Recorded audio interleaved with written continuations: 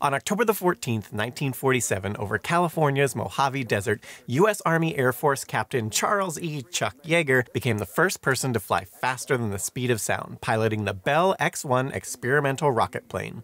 It was a stunning achievement, paving the way for routine supersonic flight and earning Yeager the prestigious Collier Trophy and a place in the history books.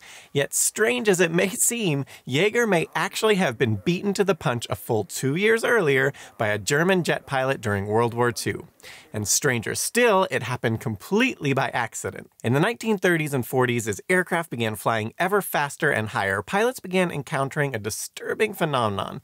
At speeds above 600 kilometers per hour, their controls would freeze up and the nose of their aircraft would suddenly pitch down, sending them into a lethal, unrecoverable dive. This problem, known as compressibility, was particularly acute in high performance fighters like the Lockheed P 38 Lightning, which during flight trials in 1941 killed test pilot Ralph Virden when the tail ripped off in a high speed dive. As this phenomenon occurred near the speed of sound, or Mach 1, pilots began to speak of a sound barrier, an invisible upper limit to manned flight. Engineers, however, were not so sure. While the P 38's compressibility issues were solved by installing special dive recovery flaps, this was only a temporary solution. If aircraft were to fly safely above 600 kilometers per hour, the aerodynamics of flight at transonic and sonic speeds had to be understood. It was soon discovered that the strange phenomenon encountered by pilots was caused by the formation of shock waves on the aircraft. Shock waves form at the speed of sound, but as airflow varies widely over the surface of an aircraft, they will form in certain areas before others. When they form on the wings, this creates a change in pressure distribution that causes a sudden pitching down of the nose, what pilots call Mach tuck. And when shock waves form on the hinges of elevators and other control surfaces, it can cause them to lock up and become unresponsive, making the resulting dive unrecoverable. While all these problems were theoretically solvable, there was another major hurdle to achieving supersonic flight. Shock waves also form on propeller blades, making them less and less effective the faster they turned. This meant that no matter how powerful an engine was installed, no propeller driven aircraft could exceed the speed of sound.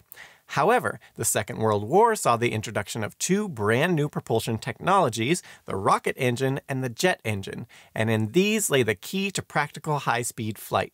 On April the 9th, 1945, barely a month before the end of the war in Europe, Cadet Sergeant Hans Guido Mutke took off from Lagerlechfeld in Germany flying a Messerschmitt Me-262. The Me-62 was the world's first operational jet fighter, entering service with the German Luftwaffe in April of 1944. Powered by two Junkers Jumo 004 turbojet engines, the aircraft was capable of a then unheard of speed of 900 kilometers per hour and had superb handling, which German ace Adolf Galland described as like angels pushing. Far outclassing anything the Allies could field, it could have been a war winning weapon were it not for one man, Adolf Hitler.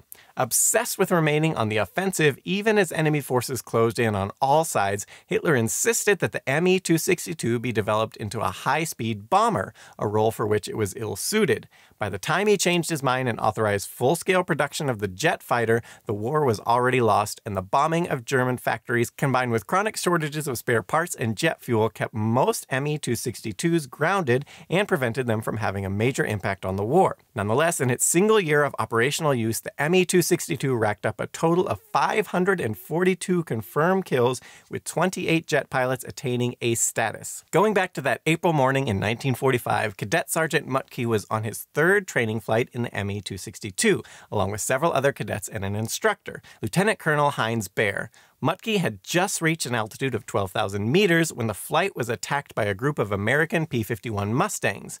Racing to his comrade's aid, Mutke opened the throttle and pushed his aircraft into a 40 degree dive. As Mutke accelerated through 11,000 meters, he began to experience the telltale signs of compressibility, his aircraft buffeting and swinging side to side, and his controls growing increasingly stiffer. His airspeed indicator, which only went up to 870 kilometers per hour, jumped off the scale. When Mutke tried to pull out of the dive, the controls would not respond. The aircraft became uncontrollable, shaking violently and threatening to break apart as it hurtled towards the ground. Then something strange happened. The buffeting suddenly stopped. The cockpit went eerily quiet, and Mutke discovered he had full control of the aircraft. Yet he was still accelerating with his airspeed indicator needle stuck against the stop peg. But Mutke had little time to ponder this strange phenomenon, as a few seconds later, both his engines flamed out. The aircraft decelerated and the buffeting returned, not dissipating until Mutke had dropped below the aircraft's maximum rated speed of 870 kilometers per hour. Mutke immediately returned to base and upon landing was shocked to discover the condition of his aircraft. Dozens of rivets had been ripped out of the airframe and his wings were bent and twisted.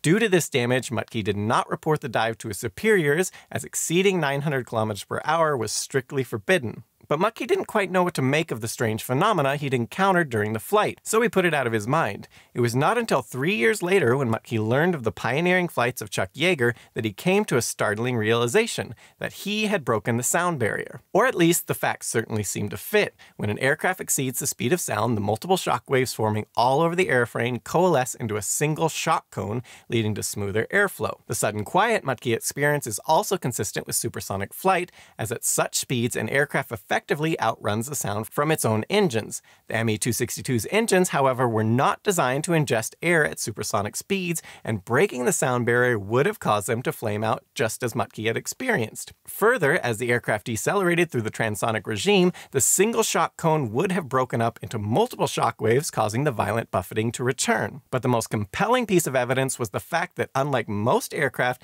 the ME 262 had an all moving horizontal stabilizer, which instead of having separate hinged elevators, rotated as a single unit. This feature was later added to the Bell X-1 supersonic rocket plane to get around the problem of shock waves forming on the elevator hinges and freezing up the controls. The ME-262's design would thus have made it uniquely capable of maintaining pitch controls at transonic and supersonic speeds. All that said, many are highly skeptical of Mutke's claims. When designing the ME-262, engineer Willy Messerschmitt conducted a series of wind tunnel tests to determine the aircraft's maximum speed. He concluded that the 262 could not exceed Mach 0.86 without experiencing pitch down forces so powerful no pilot could recover from the resulting dive. Post-war test flights of captured 262s conducted by the British Royal Aircraft Establishment confirmed this, with RAE engineers pinning the aircraft's maximum speed at Mach 0.84.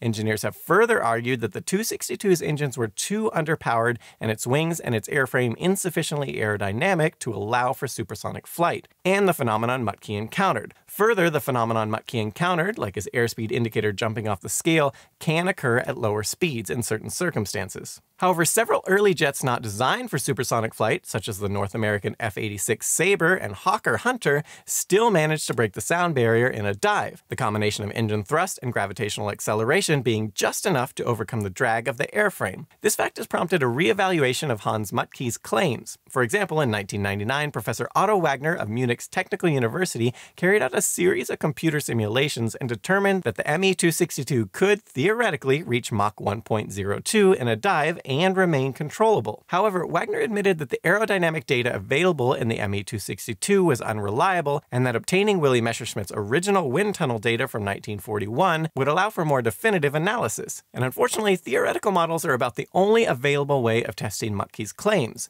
No original ME-262s remain flying, and the few flying replicas in existence use completely different modern engines. Plus, sending an aircraft into a supersonic dive is far too dangerous just to test an 80-year-old anecdote. And in any case, whether or not Hans Guido Mutke actually broke the sound barrier is irrelevant. Official aviation records are administered by the Fédération Aéronautique Internationale, a governing body based in Switzerland, and every record must be confirmed using onboard FAI recording equipment. Thus, due to the unmonitored wartime nature of his 1945 flight, Mutke was ineligible to claim an official record, while the October 14, 1947 flight of the X-1, which carried FAI recording equipment, was.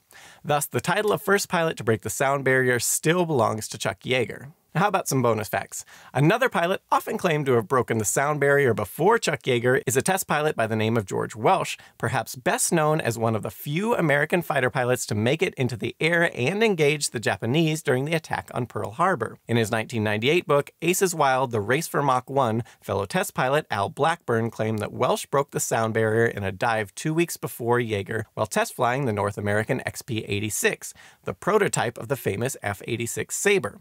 According to Blackburn, Welch was reprimanded for this act, as official Air Force orders at the time forbade pilots of other aircraft from breaking the sound barrier before the X 1. This was allegedly because the Air Force had poured vast resources into the X 1 project and did not want a regular and less expensive aircraft beating them to the punch. But either way, the historical record does not support the claim that Welch broke the sound barrier. While Welch did begin test flying the XP 86 in late September of 1947, he immediately ran into problems extending the aircraft's landing gear. It was thus decided to carry out subsequent test flights with the wheels extended, making it impossible for it to fly supersonically. The XP 86 would not fly with its wheels retracted until after the X 1's record breaking flight on October the 14th. Furthermore, many engineers and pilots at the time doubted that the XP 86 J 35 jet engine had enough power to push the aircraft past Mach 1, even in a dive and with the wheels retracted. There is evidence, however, that Welch broke the sound barrier on October 19th, barely a month after Yeager and the X 1. However, this claim is based on data from ground tracking equipment and not sensors mounted on board the aircraft itself. According to the Air Force records, the XP 86 did not officially fly faster than sound until May 21, 1948, a full seven months later. So once again, Chuck Yeager's claim to the title remains indisputable. That said, Yeager's claim to being the first to break the sound barrier was also challenged by the US Navy, though this time on the basis of a technicality. At the time, FAI rules stated that to qualify for an official record, an aircraft had to take off and land under its own power. According to the Navy, this disqualified the X 1, which was air launched from a B 29 mothership. It also meant that the first supersonic aircraft was conveniently the Navy's own jet powered Douglas D 558 1 Skystreak. As you might imagine, the Air Force did not take kindly to this challenge, and on January 5, 1949, Chuck Yeager performed the first and only ground takeoff in the X 1. The acceleration was so powerful it ripped off the aircraft's flaps, but Yeager managed to maintain control and pull the X 1 into a near vertical climb. 90 seconds later, Yeager broke the sound barrier at an altitude of 7,000 meters, not only proving the Navy wrong, but setting a long standing time to climb record in the process.